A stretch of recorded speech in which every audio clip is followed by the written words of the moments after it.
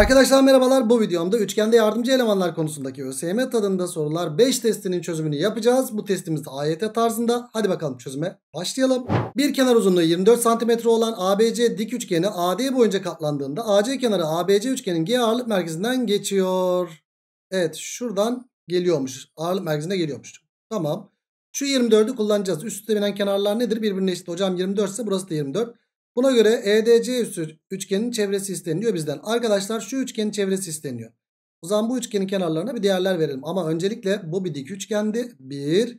Ağırlık merkezinden geçiyordu. 2. Yani şu kenar şu kenar eşit olacak. Burada bir de ne var arkadaşım? Muhteşem üçlü var. Bunu da gözden kaçırmayalım arkadaşlar. Evet. O zaman benden bu üçgenin çevresi isteniyorsa şuraya A diyeyim, buraya B diyeyim, buraya C diyeyim. Katlamalarda üst üste binen kenarlar birbirine eşit değil miydi? Aynen öyle. Hocam katlamada B iken burası da B mi olacak? Evet. E şurasıyla şurası birbirine eşitti. Hatta burası da birbirine eşitti. Burası da A artı B oldu. Hocam şurası A artı B artı C. Katlamalarda üst üste binen kenarlar birbirine eşit olduğundan şu kenarla da şu kenar birbirine eşit olmaz mı arkadaşlar? Olur. Yani 24 ise burası da 24 olacak. O da A artı B artı C değil mi? Evet A artı B artı C eşittir 24 yaptı. Bizden de zaten bu üçgenin çevresi isteniyor. O da kaç çıktı arkadaşlar? 24 çıktı. Evet birinci soru böylelikle Balıkesir oldu. Geldik ikinci soruya. Ali bir ABC üçgeni çizerek hemen ABC üçgenini çizelim arkadaşlar. Şöyle çiziyoruz rastgele bir ABC üçgenini. Harflendirmeleri de yazalım isterseniz şuraya. A, B ve C yazdık. İç bölgesinde bir D noktası alıyor. Rastgele bir D noktası alalım. Ve DBC üçgenini de oluşturuyor. DBC üçgenini de oluşturalım şöyle. Nerede olduğu önemli değil. Sonra diyor ki A ve D noktaları arasındaki mesafeyi ölçüp 12 birim olarak hesaplıyor. Arkadaşlar şurayı 12 birim olarak hesaplamış. Ali doğru ölçüm yaptığına göre ABC ve DBC bir de DBC üçgeninin ağırlık merkezinden bahsediyor. Ee, üçgenlerin ağırlık merkezleri arasındaki mesafe kaç birimdir diye soruluyor arkadaşlar bize. Peki arkadaşlar şu BDC'nin ağırlık merkezinden bahsediyor. BDC'de ne yapacağız o zaman? Bir kenar ortay çizeceğiz. Hocam B'den mi çizeceğiz? C'den mi çizeceğiz? D'den mi çizeceğiz? Tabii ki D daha mantıklı. Çünkü ABC'de de bir kenar ortay çizeceğiz ya arkadaşlar biz. ABC'de de bir kenar ortay çizdiğimizde hop o da bu olmaz mı arkadaşlar? Evet. En azından bir üçgen oluşmuş oluyor. Evet bunun ağırlık merkezi arkadaşlar bunun ağırlık merkezi burası. İşte 1'e 2 oran var. A iken 2A. Bunun ağırlık merkezi de şuralarda bir yerlerde. Şöyle bir yerde arkadaşlar. Burası B iken burası 2B değil mi? İşte bunların arasındaki mesafe soruluyor bize. E, gençler 1'e 2, 1'e 2 oran var. Şunlar birbirine paralel olmaz mı? Olur. Temel orantı çıktı mı? Çıktı. Yani B bölü 3B neye eşittir arkadaşlar? Şuraya x diyelim. x bölü 12'ye eşittir. E buradan 3 katı 3 katından dolayı x'de kaç bulduk arkadaşlar? 4 bulduk. Güzel bir sözel bir soru arkadaşlar. Düzgün bir şekilde ne isteniliyorsa yazdığınız zaman sonuca rahat bir şekilde ulaşıyorsunuz. Evet ikinci soru Denizli oldu. Geldik üçüncü soruya. Şekil 1'de verilen ABC dik üçgen 15, 20, 25 arkadaşlar. Öncelikle şunu bir yazalım ve şurası şöyle dik olacak şekilde altta da gösterilmiş kesilmiş. Vallahi Euclid bağıntılarından buluruz ama ben hissediyorum 9, 12, 15'tir. E 12, 20 ise burası da 16. Sağlaması tutuyor mu? Tutuyor. Evet burası 9, 12, 15. Burası da 12, 16, 20 çıktı arkadaşlar. Sonra evet bu üçgenler şu şekilde konmuş. Arkadaşlar bir şey kesip başka bir yere yapıştırdığım zaman eş yapıyı kullanıyorum. Eş yapılarda kenarların eşit olması önemli. Mesela BD1 uzunluğu kaç? 9. Hocam diğer dik kenar şu üçgen buraya konmuş ya. 12 şurası 12. Burası kaç? 15'i şöyle bir yazalım. Öbür üçgende 12 16 20 mi? Evet bakın A2 D2 A2 D2'de 12 16 20. Buraya da bir 12 yazalım. Şurası da 16 yapacak. Burası da 20 yapacak. Nereye denk geliyormuş arkadaşlar? Buradaki G noktasına G A2 D2 şu. A2 D2 C üçgenin ağırlık merkeziymiş. Ağırlık merkezi kenar ortay. Kenar ortay muhteşem üçlüden kenar ortay olacak arkadaşlar. E burası 20 ise 10 10 burası da 10 mu olacak? Evet. E hocam ben bunu nasıl kullanacağım şimdi? Şurası da 10 eşit. Ben bunu nasıl kullanacağım? 1'e 2 oranı yazsam mı yazmasam mı? Yok.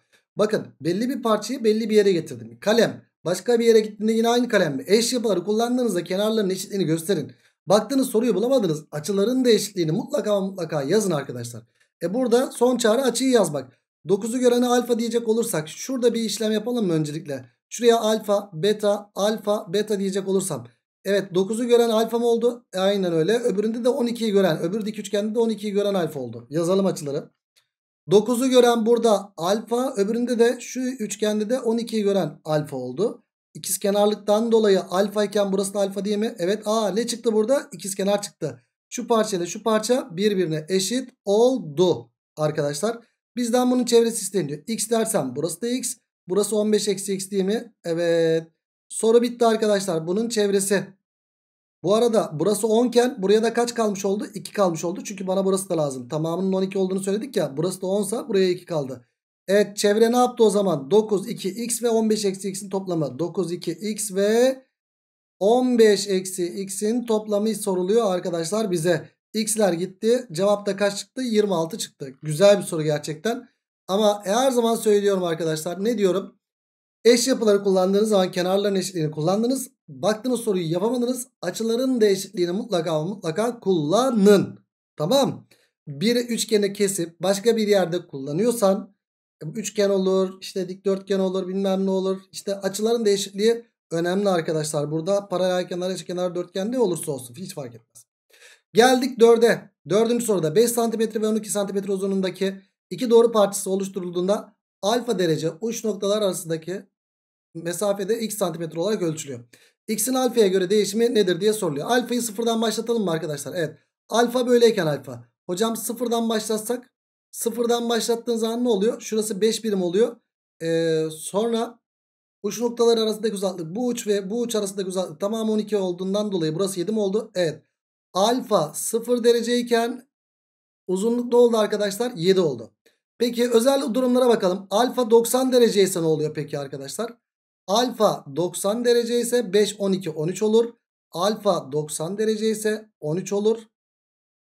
Sonra 180 derece yapalım arkadaşlar. Alfayı 180 derece yaptığında şu sıfır ya hop 180 derece yaptığında uç noktalar arasındaki uzaklık ne oluyor arkadaşlar? Şurası 5 iken burası da 5 ya. Alfayı 180 derece yaptık. Bakın bu sefer.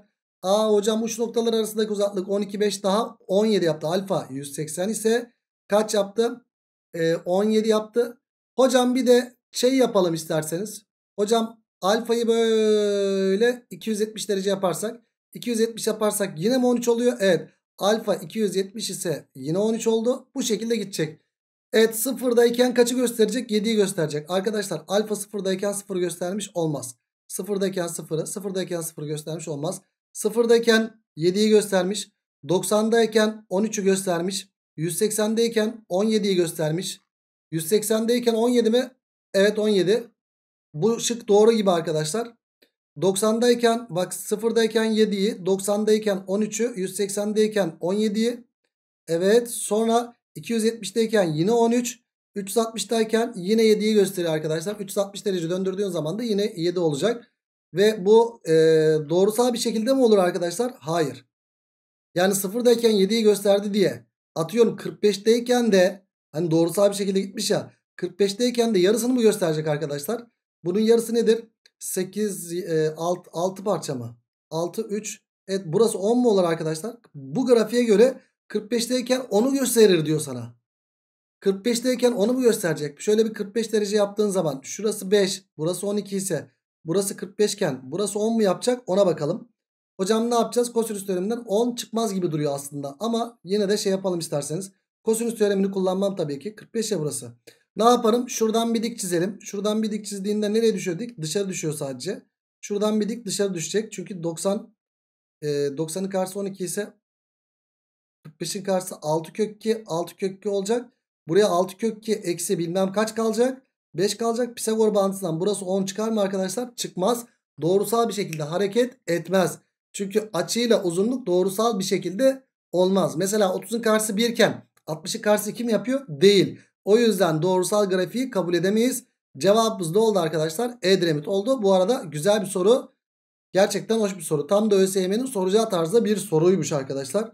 Böyle değişik sorularla ilk defa burada karşılaşıyorum ya. Gerçekten güzel. Evet. Dördüncü soruyu böyle Edremit bulduk. Geldik beşinci soruya. ABC üçgeni iç bölgesindeki BC kenarına P noktasına teğet olan birim çember. Birim çember. Bir kenarı yarıçap bir birim olan çember. P noktasından ok yönünde başlayıp üçgenin en az bir kenarına teğet olacak biçimde tur atıp P noktasına geliyor. Hep teğet olacak şekilde tur atacak. Şöyle geldi. Mesela buraya geldiğinde nasıl gelecek arkadaşlar buraya? Hop hocam şuraya şöyle teğet olacak işte. Şöyle teğet olacak. Sonra buradan yukarı doğru gidecek. Şu ikisine teğet olacak mesela. Sonra ne olacak arkadaşlar? Buradan gelecek. Şu ikisine teğet olacak şöyle. İşte burada böyle hareket ederken diyor. Şu, şu çemberi düzgün çizeyim. Şöyle bir hareket ederken diyor. Bizim eleman merkez ne kadar yol almıştır diye soruluyor arkadaşlar bize. Buradayken merkez burada. Buradayken merkez burada. Buradayken merkez burada.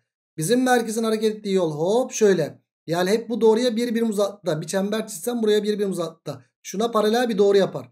Bu da aynı şekilde buna paralel bir doğru. Bu da aynı şekilde buna paralel bir doğru. Bu arada 6, 8 ne üçgeni arkadaşlar? 10 üçgeni olduğunu da biliyoruz. E hocam buradaki yarıçaplar kaç birim? 1 birim. Şurası 1. Şurası da 1. Hocam burası da 1. Burası da 1. Burası da 1. Burası da 1. E ne çıktı burada arkadaşlar? Hocam burada 90 90 90'dan dolayı 1 1 çıktı bir kere. Tamam. Ama öncesi de şunlar birbirine paralel. Bunlar da birbirine paralel. 6 8 10 üçgeni ya bu. Şuraya bir alfa diyecek olursam e, buraya bir alfa diyecek olursam burası da alfa yapar. Buraya beta diyecek olursam yöndeşlikten dolayı burası da beta yapar. Şu üçgenle öbür üçgen benzer oldu değil mi arkadaşlar? Evet. Bu üçgenle büyük üçgen benzer oldu. Benzerlikteki oran kaça kaç? Benzerlikteki oran bu 6 8 10 üçgeni. 3'ün 3 4 5'in katı. E, alfanın karşısı büyük de 3'ün katı ya. Burada da burası 3K'dır. Burası 4K'dır. Burası da nedir arkadaşlar? 5K diyebiliriz direkt. E sonra ne yapacağız? 3K ise bak burası da 3K. Eyvallah. Aa hocam şu dikmeler birbirine eşit. Bu nedir? Açıortayda dikmeler birbirine eşit olur. Ayırttıkları yerler de birbirine eşit olacak o zaman. Şu parça ile şu parça. Tamamı 6 mı bunun? Evet. Biri burada. Buraya 5 eksi 3K mı kaldı? Aynen. Burası da 5 eksi 3K kalacak. Hocam 5K iken dikdörtgenden dolayı burası da 5K. E tamamı 10 yapacak bunun. Tamamının 10 yapması için arkadaşlar. Ya da şöyle yapalım. Burası 1 mi? 1. Burası 4K mı? 4K. Şurası da toplamda 8 değil mi? Evet 8. Ee, biri buradaysa 7 eksi 4K yaptı burası. Burada da aynı şekilde şunu çizersem bu da açı ortay değil mi? Aynen öyle. Çünkü kolları çizilen dikmeler eşit. 1 1 olduğu için. Ayırdıkları yerler de eşit olacak. 7 eksi 4K ise burası da 7 eksi 4K yapar. Şunun hepsinin toplamı kaç yapmalı? 10 yapmalı. Yani 7 eksi 4K artı 5K artı 5 eksi 3K eşittir 10 yapmalı. Buradan 7 5 daha 12. E, 12 burada kalsın. Onu bu tarafa atalım. 2 eşittir. Şurası kaç yaptı arkadaşlar? Eksi 2K yaptı. Eksi K'yı da öbür tarafa attım. 2K yaptı. O zaman K'yı da kaç bulduk? 1 bulduk. Bizden çemberin merkezinin aldığı yol isteniyor. Yani çemberin al merkezinin aldığı yol neye eşit oldu? 5, 3 ve 4. 5K artı 3K artı 4K'nın toplamı isteniyor bizden. O da kaç yaptı? 12K yaptı. K yerine 1 yazacak olursak cevap da 12 yapar. Güzel bir soru arkadaşlar. Aslında benzerliğe dalmaya devam etsek yine benzerlikten belki farklı sonuçlar da bulabiliriz. Ne bileyim şuradaki şeyleri kullanarak ama üçgen yok. Alfa betalı başka üçgen yok. Nasıl oluşturabiliriz? Mesela şunu uzatabilirsiniz bunu uzatabilirsiniz ama uzatmayla uğraşmadan çok da güzel bir şekilde aslında sonuca da ulaşmış olduk arkadaşlar. Böylelikle güzel bir soruymuş. Şu dikmelerin eşit olmasından faydalanarak açı ortay yani yandaki uzunlukların da eşit olmasını kullandık burada. Ve çok da güzel bir şekilde çıktı. Evet 5. soru böylelikle Edremit oldu. Geldik 6. soruya. Duvarda yürüyen bir kanıcı ABC noktalarında duraksadığında O merkezine göre sırasıyla 1, 3 ve 5 saat yönünde gidiyor. Arkadaşlar bir kere saatteki 360 bölü 12 bölme olduğu için her bir bölme 30'ar derece. Hocam burası 30, burası 30, burası 30, burası 30. Yani bu açımız kaç derece? 60. Bu açımız kaç derece? 60. E başka ne verilmiş bana? OC uzunluğunu 8 vermişler. Şuradaki uzunluk 8. Sonra OB uzunluğunu 30 vermişler. O 30. Hocam iç açı ortaylık var burada. İşte bilmem neye bilmem ne. Kolda veya tabanda oran yok. Başka bir şey düşüneceğim.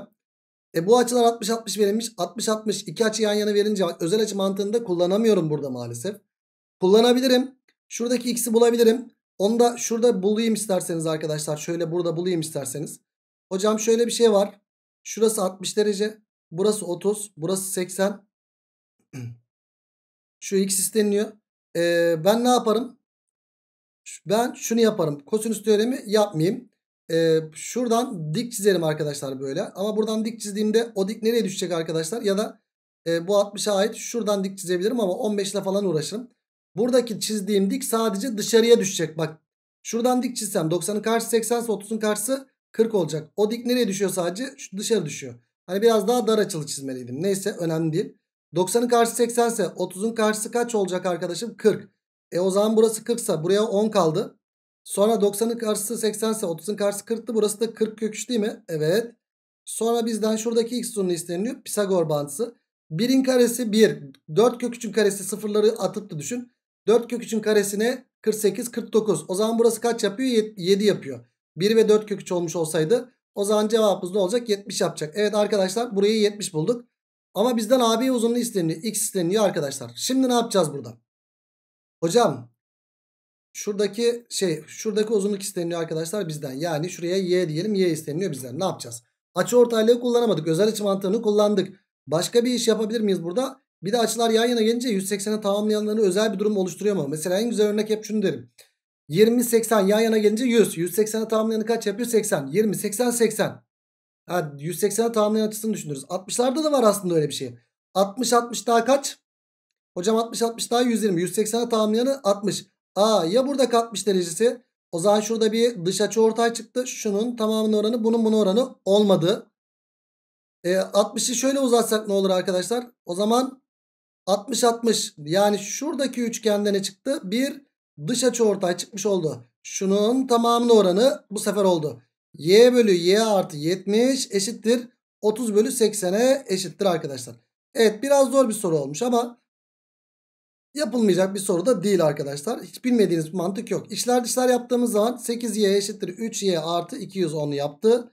Buradan da 5y eşittir 210'dan 5'e bölme kuralı 0 at 2 ile çarp direkt 21 çarpı 2'den 42 mi geliyor? Aynen öyle. O zaman 6. soruda böylelikle Balıkesir yaptı ve ÖSYM sorularından neyi bitirdik arkadaşlar? ÖSYM tadında sorulardan 5. testi bitirdik. O zaman ÖSYM soruları bitmiş oluyor. O zaman ne kaldı arkadaşlar? Orijinal sorular 1 yani son test kaldı. Orijinal soru bir sonraki videoda orijinal sorular 1 testinde görüşmek dileğiyle. Kendinize iyi bakın. Hoşçakalın.